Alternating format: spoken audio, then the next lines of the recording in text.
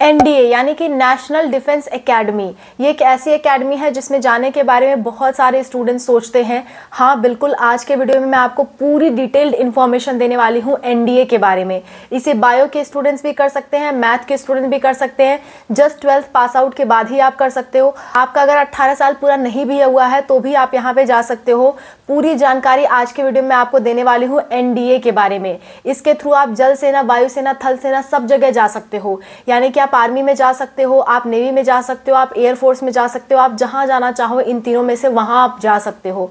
सो so, क्या है इसकी पूरी जानकारी आज के वीडियो में हम डिस्कस करेंगे। वीडियो थोड़ा लंबा ज़रूर होगा लेकिन ए टू जेड सारी की सारी इन्फॉर्मेशन आपको इसी वीडियो में मिलेगी। इस वीडियो के बाद आपको दूसरी वीडियो देखने की ज़रूरत नहीं पड़ेगी।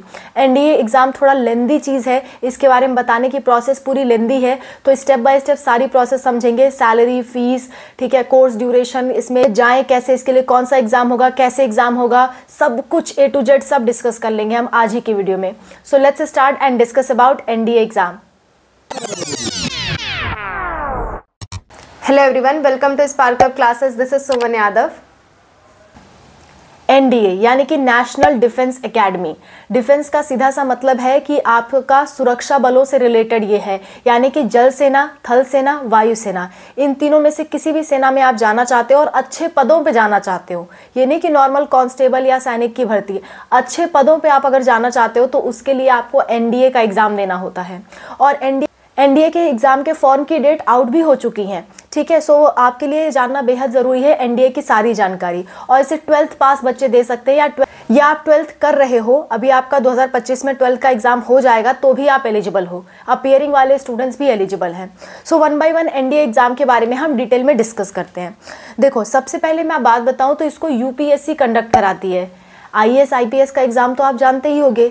I S I P S का एग्ज़ाम भी यूपीएससी करवाती है और एनडीए का एग्ज़ाम भी यूपीएससी कराती है। और इससे आप बहुत अच्छे पदों पे आपकी भर्ती होती है। लेफ्टिनेंट बनते हो पायलट बनते हो एयरफोर्स में अच्छे पदों पे जाते हो, आप चीफ आर्मी ऑफिसर बन सकते हो नेवल में आप अच्छे पदों पे जा सकते हो। यानी कि इसके थ्रू जितने भी आपको पद मिलेंगे, बहुत अच्छे अच्छे पद मिलेंगे और सैलरी लाखों तक है।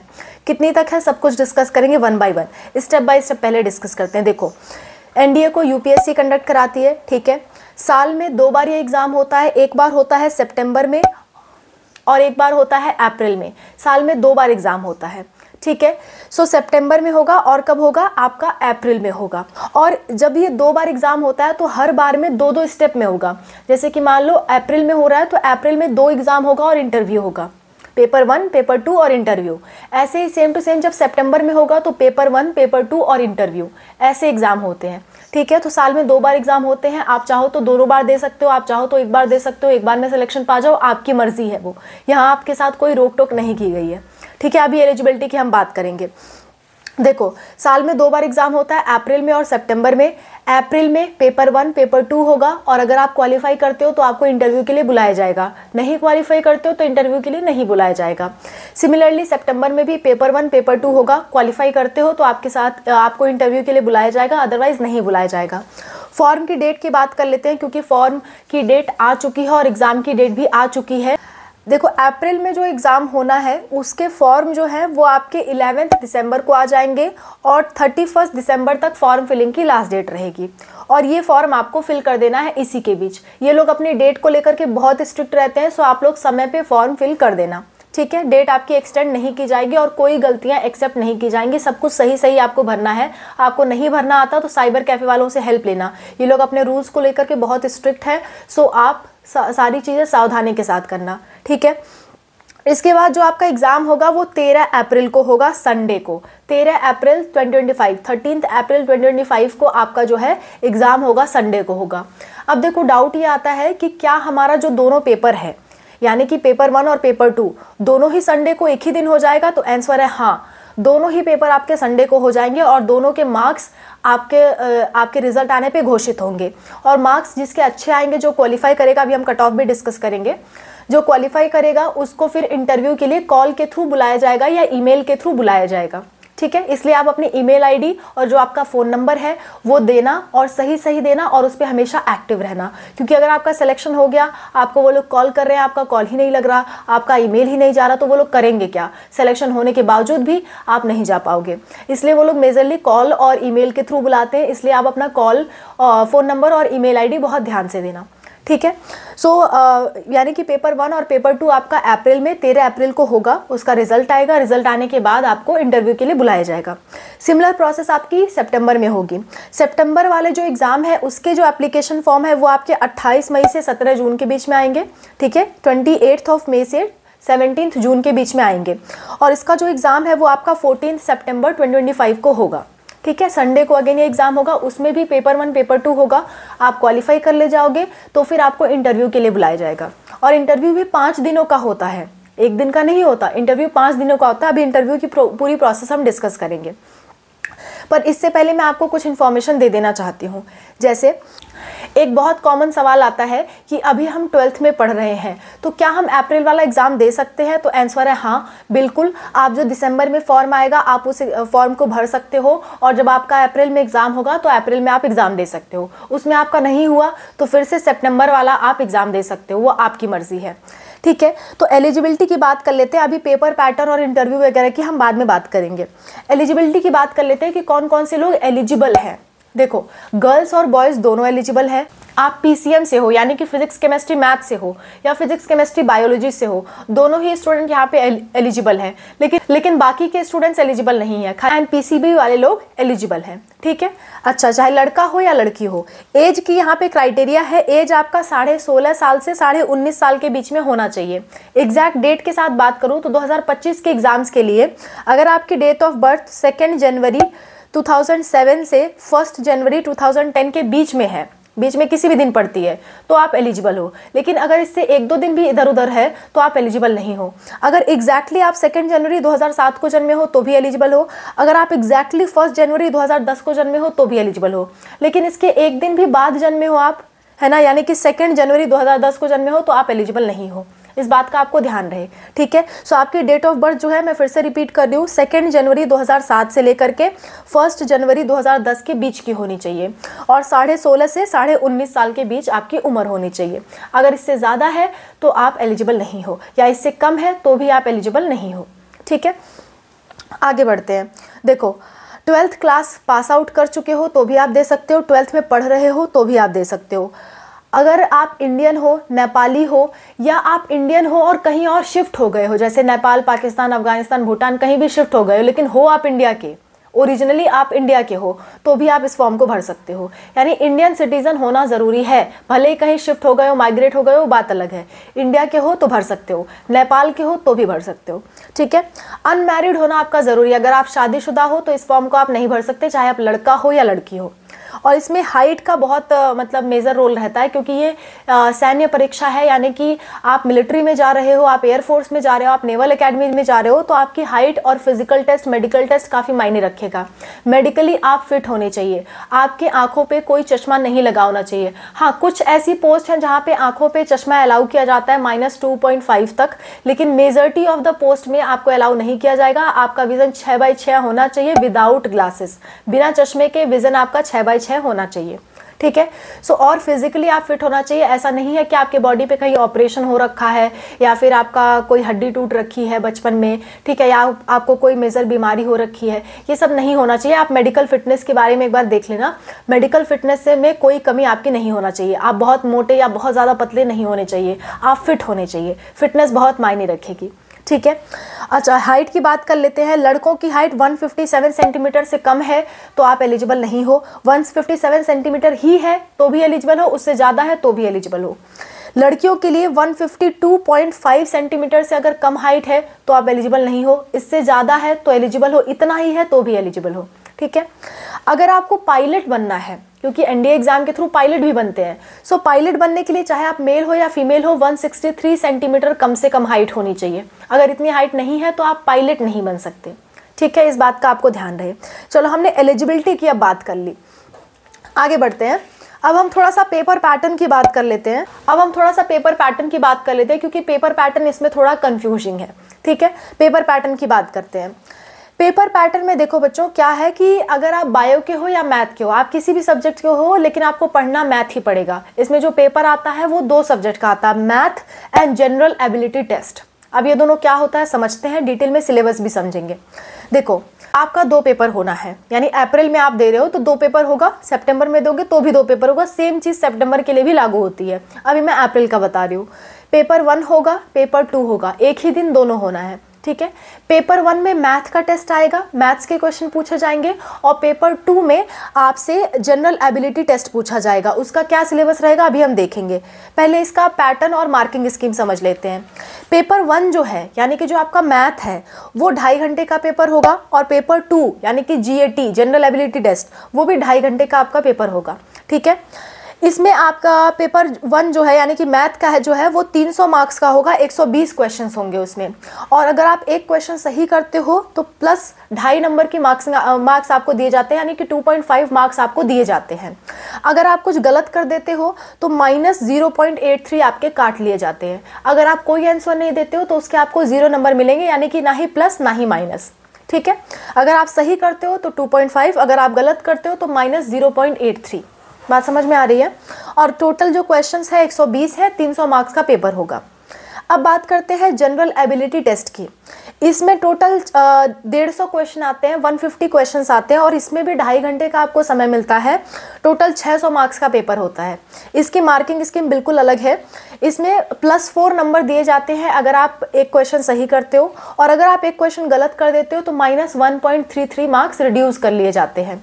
और अगर आप सही गलत कुछ नहीं कर रहे हो, आप छोड़ दिए क्वेश्चन तो उसके लिए ज़ीरो मार्क्स यानी कि ना ही प्लस होगा, ना ही माइनस होगा। ठीक है?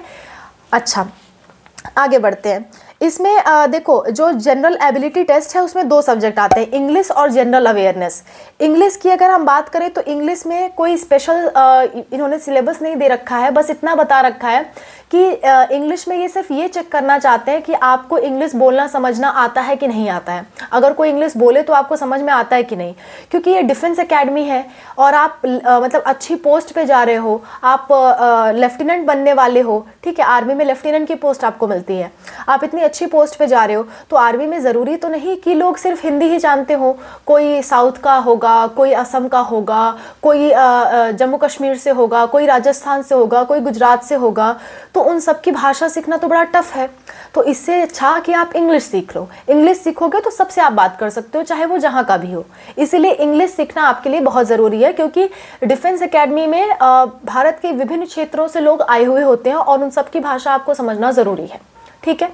अच्छा तो इंग्लिश आपकी चेक की जाएगी, इसीलिए इंग्लिश का पेपर यहाँ पे रखा गया है। इंग्लिश के 50 क्वेश्चन आएँगे और जनरल अवेयरनेस के 100 क्वेश्चन टोटल मिला के डेढ़ क्वेश्चन इस सेक्शन से आ रहे हैं आपके, और टोटल 600 मार्क्स ठीक है? तो अब कहोगे कि जनरल अवेयरनेस में क्या है फिर? जनरल अवेयरनेस में देखो फिजिक्स के सब्जेक्ट पूछे जाते हैं फिजिक्स के क्वेश्चन आते हैं इलेवंथ प्लस ट्वेल्थ के बेसिक फिजिक्स आती है, बहुत टफ फिजिक्स नहीं आती है। इसके बाद केमिस्ट्री केमिस्ट्री में ऑर्गेनिक केमिस्ट्री के ज़्यादा क्वेश्चंस आपको नहीं देखने को मिलेंगे, इक्का दुक्का देखने को मिल सकता है, लेकिन मेजरली फ़िज़िकल केमिस्ट्री और इनऑर्गेनिक केमिस्ट्री आपसे पूछी जाती है। ठीक है?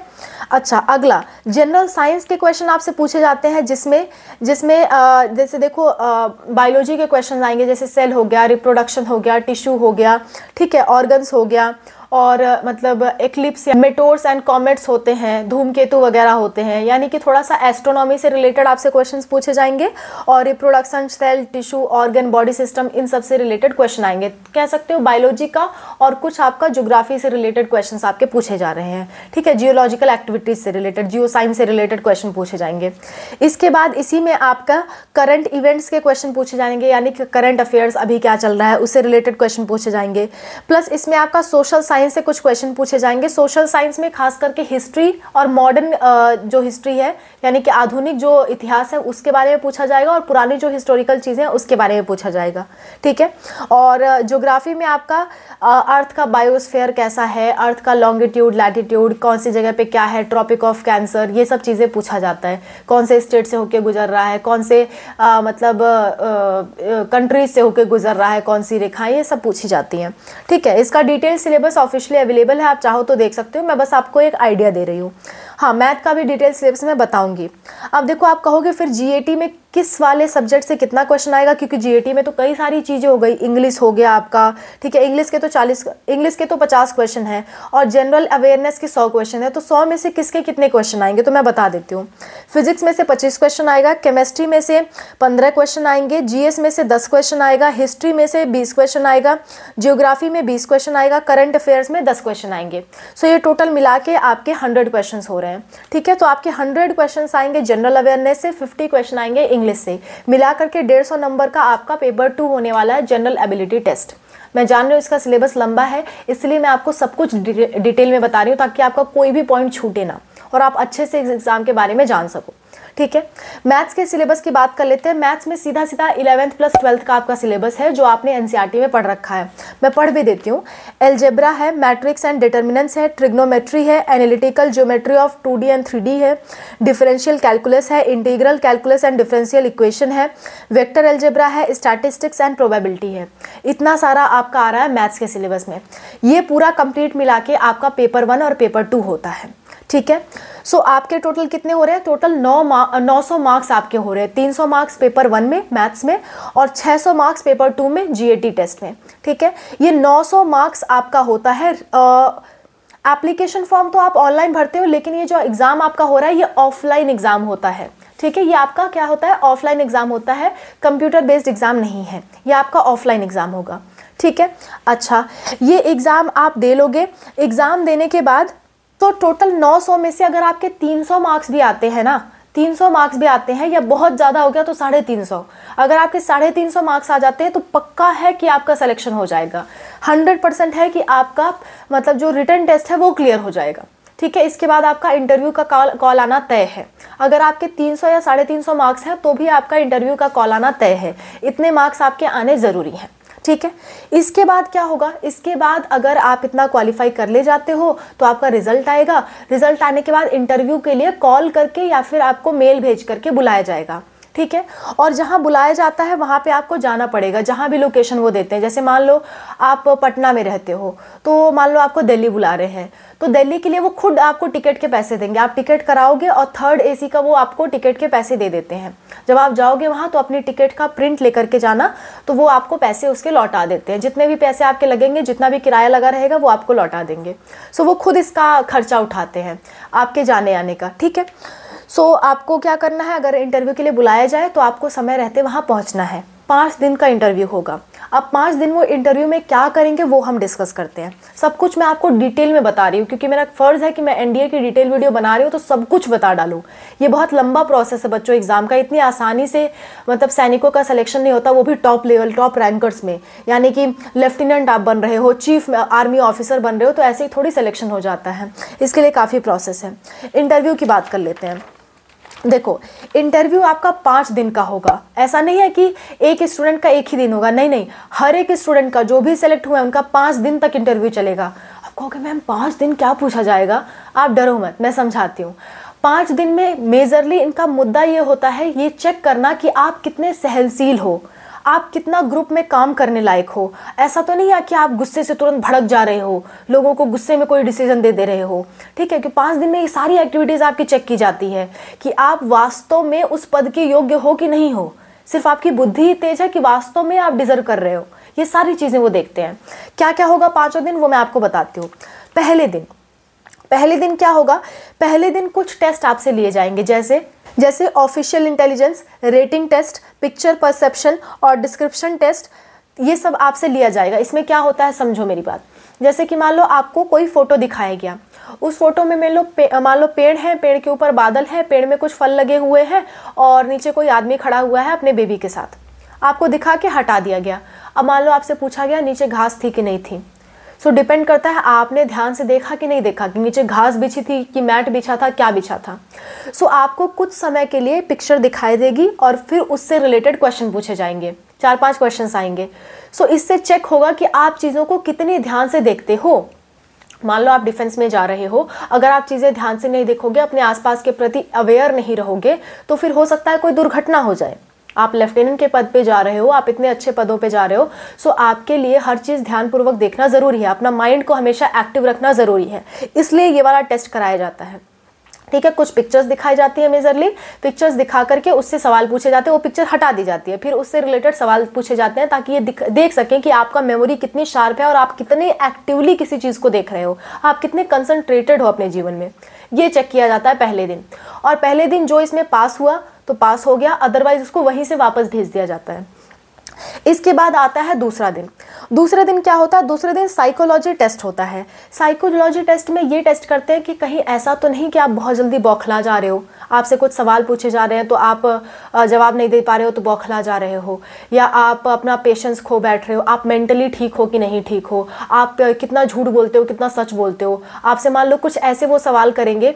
जैसे कि मान लो आपका एक दोस्त है और वो दोस्त फंस गया है। ठीक है, और आपके चार दोस्त पीछे खड़े हैं। आप इनको बचाओगे कि उनको बचाओगे? आपका ये जिगरी दोस्त है। तो आप ऐसे समय पे क्या डिसीज़न लोगे? उन चार लोग को बचाने का कि अपने जिगरी दोस्त को बचाने का? ये सब चीज़ें वो पूछते हैं। आपका मेंटल लेवल का टेस्ट लेते हैं कि आप किस तरह की सोचने, समझने की क्षमता रखते हो और कितना पेशेंस आपके अंदर है। विकेट परिस्थितियों में आप किस तरह का डिसीज़न ले सकते हो? ये सब वो चेक करते हैं। ठीक है? दूसरे दिन। फिर आता है तीसरा दिन। यहाँ से वो डायरेक्ट आउट नहीं करेंगे। मान लो यहाँ से आप डिस्कालीफाई भी होते हो तो भी वो डायरेक्ट आपको नहीं भगाएँगे। आपको दो डे टू से लेकर के डे फाइव तक जो आपका फाइनल रिज़ल्ट आएगा, उसके बाद वो घोषित करेंगे कौन सेलेक्ट हुआ, कौन नहीं हुआ। लेकिन पहले दिन अगर आप सेलेक्ट नहीं हुए तो पहले दिन से आपको वापस कर देंगे। पर डे टू में अगर आप चले गए तो दूसरे दिन से लेकर के पाँचवें दिन के बाद ही आपका रिज़ल्ट आएगा। इस बीच किसी को वापस नहीं भेजा जाता है। ठीक है? पाँचवें दिन जब रिज़ल्ट आएगा तो जिनका सिलेक्शन हुआ हुआ, नहीं हुआ तो वापस भेज दिया जाएगा। ठीक है? डे थ्री में ग्रुप टास्क दिया जाता है। यानी कि आप कितने तालमेल से लोगों के साथ काम कर रहे हो? कहीं ऐसा तो नहीं कि आपका मत इतना अलग है कि लोगों से आपका तालमेल ही नहीं बैठ रहा। आपको एक ग्रुप दिया गया और ग्रुप में कोई टास्क दिया गया। आप उस ग्रुप के साथ काम ही नहीं कर पा रहे हो। आपको ग्रुप में काम करना आना चाहिए। आप बहुत इंडिविजुअल नहीं होना चाहिए क्योंकि वहाँ पे एक सेना है। पूरी सेना को आप लीड करने वाले हो तो सबको साथ लेके चलना आपके लिए ज़रूरी है। सो वहाँ पे ग्रुप का कुछ टास्क दिया जाएगा, कोई भी काम दिया जा सकता है, कोई भी एक्टिविटी दी जा सकती है, वो ग्रुप में आपको करनी रहेगी और आपसे वो चीज़ भाग दौड़ खेल कूद कुछ भी करवा सकते हैं। सो उस ग्रुप में आप कैसा काम कर रहे हो, उसके बेसिस पे वो एनालाइज करेंगे कि आप वास्तव में उस योग्य हो कि नहीं हो। इसके बाद आता है डे फोर डे फोर में आपका इंटरव्यू होगा, यानी पर्सनल आपसे कुछ चीज़ें पूछी जाएँगी। हो सकता है आपके सब्जेक्ट से रिलेटेड हो सकता है आपके बैकग्राउंड से रिलेटेड हो, आपने क्या किया? मतलब आपका खाली हाव भाव चेक किया जा रहा है कि आपकी मेंटालिटी किस लेवल की है। ठीक है? बस आपका हाव भाव वहाँ चेक करेंगे, वहाँ कोई बहुत मतलब ऐसा नहीं है कि बहुत टफ क्वेश्चन पूछे जाएँगे। जो आप करके आए हो, वही चीज़ें पूछे जाएँगे। ठीक है? आपकी मानसिकता जानने का प्रयास किया जा रहा है, बस यही एक मकसद है इस पूरे इंटरव्यू प्रोसेस का। डे फाइव में क्या होगा? डे फाइव में कॉन्फ्रेंस होगा, यानी कि ग्रुप डिस्कशन होगा। कोई एक मुद्दा दे दिया जाएगा और वहाँ पे ग्रुप्स बना दिए जाएँगे कि इस मुद्दे पे आप लोग बातचीत करो। और देखा जाएगा किसकी बौद्धिक क्षमता किस तरह की यानी किसी प्रॉब्लम को कोई किस तरह से सॉल्व कर रहा है। कुछ ऐसा प्रॉब्लम रखेंगे वो लोग जिसका सॉल्यूशन वेराइटी हो मतलब बहुत सारे सॉल्यूशन हो जिसके। सो so, ऐसा मुद्दा रखेंगे और आपको डिस्कशन करने का मौका देंगे। सो so, जो जिस तरह से डिस्कशन कर रहा है उस हिसाब से वो उसकी क्षमताओं के बारे में सोचेंगे। ये पूरा जो पाँच दिन की प्रोसेस है वो आपकी नौ मार्क्स की होगी नाइन मार्क्स की होगी। और इस नाइन मार्क्स में अगेन अगर आप तीन सौ मार्क्स ले देते हो तो आप सेलेक्ट हो जाते हो। इसमें ये आपके हाथ में नहीं या मार्क्स लाना। बस आपको एक बात का ध्यान रखना है कि आपको बहुत पेशेंस रखना है, गुस्सा नहीं होना है झूठ नहीं बोलना है अपने आप से, ठीक है? आप जो वास्तव में हो, उस चीज़ को आपको प्रेजेंट करना है और कोशिश करना है कि आप मिलनसार रहो। लोगों के साथ आप अच्छा बिहेव करो ग्रुप में अच्छा काम करो और जल्दी गुस्सा मत हो, जल्दी फ्रस्ट्रेट मत हो, जल्दी इमोशनल मत हो, ये सब चीज़ों से आपको बचना होगा। और चीज़ें याद रखने की, हमेशा अपने आप को कंसनट्रेट रखने की कोशिश करो। अगर इतना करते हो तो आपका सिलेक्शन आसानी से हो जाएगा, बाकी यहाँ और कुछ होता नहीं है। इसी इंटरव्यू को मतलब इस पूरे पाँच दिन की प्रोसेस को एस एस टेस्ट के नाम से भी जाना जाता है या सा, साधारण तौर पे इंटरव्यू के नाम से भी जाना जाता है। सो so, अगर आपसे कोई पूछे कि एसएसबी टेस्ट एनडीए में क्या है तो आप कहोगे यही पाँच दिन की इंटरव्यू वाली प्रोसेस ही बी टेस्ट है। ठीक है? सो so, इतना हो जाने के बाद आपका एडमिशन हो जाता है। बात समझ में आई? एक बार मैं समराइज कर देती हूँ। देखो अप्रैल में क्या होगा कि आपका थर्टीन अप्रैल को पेपर होगा पेपर वन पेपर टू यानी कि मैथ का और जीएटी का पेपर होगा। टोटल 900 मार्क्स का पेपर है।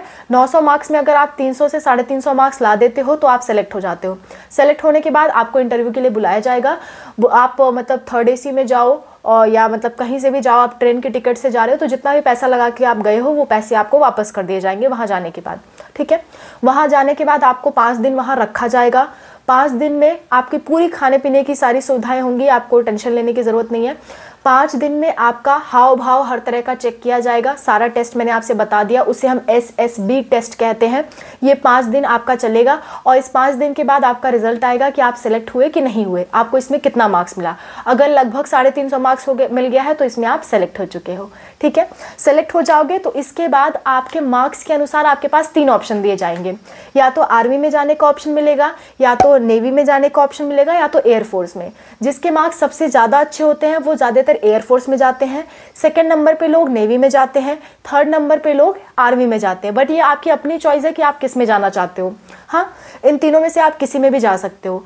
ज़्यादातर जिनके अच्छे मार्क्स होते हैं, उनको प्रायोरिटी दी जाती है कि वो पहले चुने। जैसे मान लो किसी के मार्क्स आए टोटल मिला करके सात सौ नंबर 900 900 का पेपर हुआ है टोटल 1800 मार्क्स हो गए। 1800 में से जिसके 700 नंबर आए हैं। तो 700 नंबर को, वाले को पहले प्रायोरिटी दिया जाएगा कि आप तीनों में से कौन सा चुन रहे हो। सो वो चुन लेगा। फिर उसके बाद वाले को प्रायोरिटी दिया जाएगा कि आप कौन सा चुन रहे हो। वो चुन लेगा। फिर आपके आने तक अगर आपके चुनने में से सीट बचती हैं तो जो भी सीट बची है, उसमें से आपको चुनना होगा। ठीक है? कितनी सीट्स होती हैं, उनकी हम बात कर लेते हैं। देखो आर्मी की अगर बात करें तो आर्मी में 208 सीट्स हैं। ठीक है? आर्मी में कितनी है? 208 सीट है, जिसमें से 10 सीट फीमेल के लिए रिज़र्व होती हैं और बाकी की सीट लड़कियों लड़कों के लिए होती हैं। इसके बाद नेवी होती है। नेवी में टोटल 42 सीट्स होती हैं, जिसमें से 12 सीट फीमेल के लिए रिज़र्व होती हैं। ठीक है? इसके बाद होती है एयरफोर्स एयरफोर्स में देखो फ्लाई एयरफोर्स में तीन डिपार्टमेंट होता है। एक फ्लाइंग यानी कि जो उड़ाते हैं। प्लेन्स वगैरह को उड़ाते हैं एयरफोर्स में। ठीक है, या फ्लाइंग में जब प्लेन वगैरह चल रहा है तो उसके अंदर जो भी एक्टिविटीज़ में लोगों की ज़रूरत होती है को पायलट्स की या जो भी एक्टिविटीज़ में ज़रूरत होती है, वो लोग रहते हैं। यानी कि वो हवा का काम कर रहे हैं, ठीक है? सो ऐसे लोगों के लिए नाइन्टी टू सीट्स हैं, जिसमें दो सीट फीमेल के लिए हैं। इसके बाद आता है ग्राउंड ड्यूटी टेक्निकल यानी कि मतलब कि एयरफोर्स में ऐसा तो नहीं है कि हमेशा विमान में ही रह रहे हो।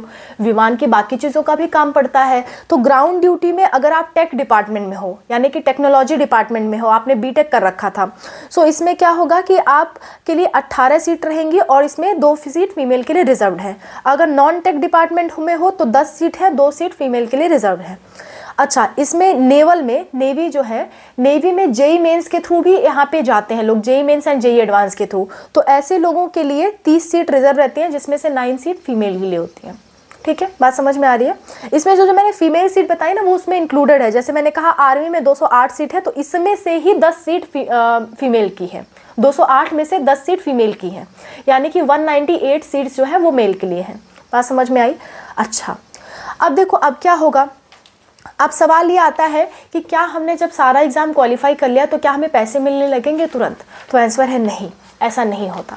मैं आपको समझाती हूँ आगे क्या होता है। यही कहानी ख़त्म नहीं होती। देखो, आपके लिए सब कुछ जानना ज़रूरी है। अब लास्ट फ़ेज़ पे हम चल रहे हैं। इसके बाद सैलरी की हम बात करेंगे, फिर वीडियो ख़त्म हो जाएगा। एनडीए के, देखो एनडीए में क्या हुआ कि आपने एनडीए का एग्ज़ाम क्लियर कर लिया इंटरव्यू भी क्लियर कर लिया, आपने चुन भी लिया कि आपको किसमें जाना है? तो चुनने के बाद आपको तीन ऑप्शन दिए जाएँगे। आपको कहा जाएगा, या तो आप बीए करो, या तो बीएससी करो, या तो बीटेक करो। आपको ये तीन ऑप्शन दिए जाएँगे। अच्छा अगर आपने आर्मी चुना है आर्मी वाले तो आर्मी वाले बीटेक में नहीं जा सकते, वो बीए या बीएससी ही कर सकते हैं। उनके लिए दो ही ऑप्शन है बीए करो या बीएससी करो। आर्मी वाले बीटेक नहीं कर सकते। ठीक है?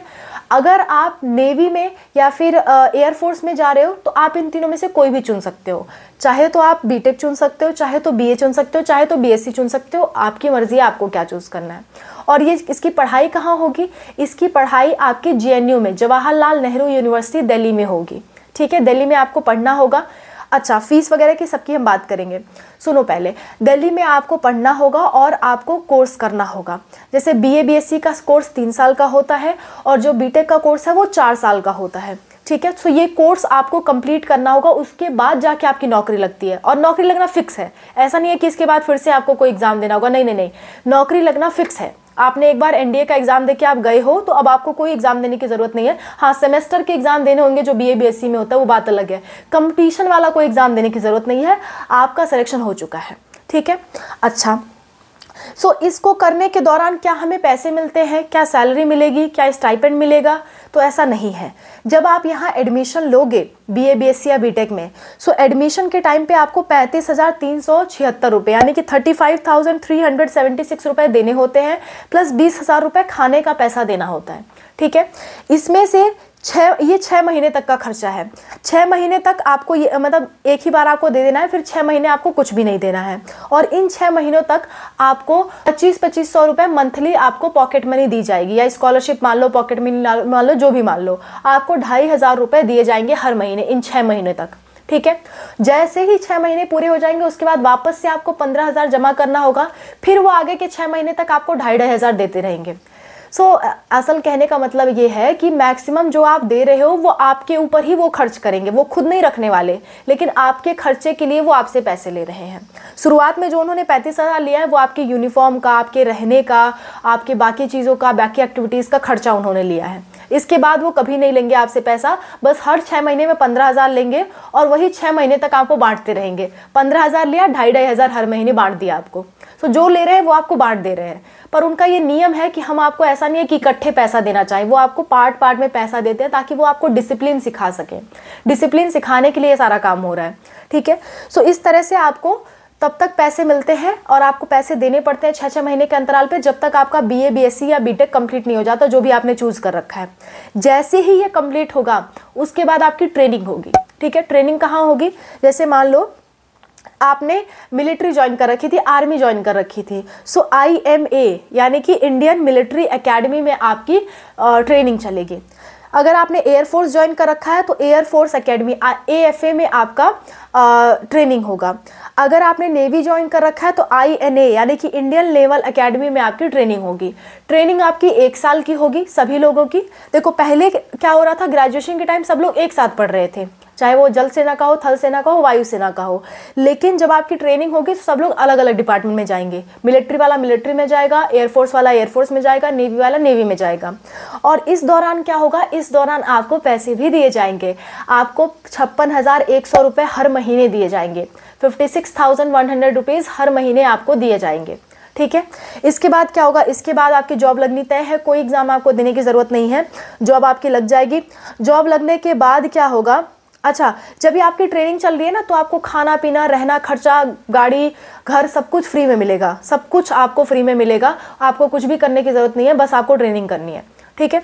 इसके बाद आपको क्या होगा? अगर आप आर्मी में थे आर्मी आपने चूज़ किया था तो आप लेफ्टिनेंट बन जाओगे। लेफ्टिनेंट बनने के बाद आपकी सैलरी सेवेंटी थाउज़ेंड से लेकर वन लाख पर मंथ तक होगी। डिपेंड करता है कि आपकी पोस्टिंग कहाँ हुई। इंडिया में कहीं भी आपकी पोस्टिंग हो सकती है। मान लो आपको कश्मीर भेज दिया गया।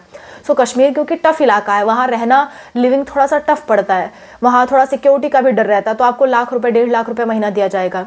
अगर आपको दिल्ली में पोस्टिंग हो रही है सिक्योर जगह पे हो रही है तो वहाँ पे आपको सत्तर हज़ार रुपये महीना दिया जाएगा। सो ऐसे वेरी करता है कि मतलब आप कहाँ पोस्ट हुए हो और उस हिसाब से आपको पैसा दिया जाएगा।